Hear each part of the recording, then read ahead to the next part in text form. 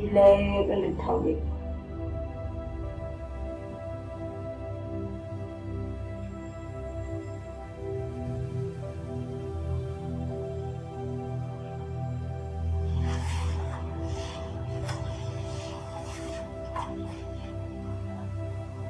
We go back.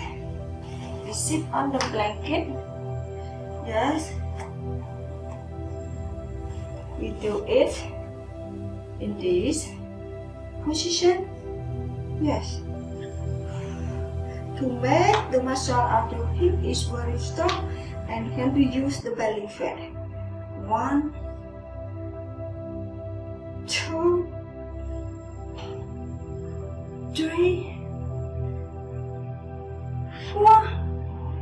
Last one. Five. Go back. Up. One. Two. Three. Four. Last one. Five. Change the side.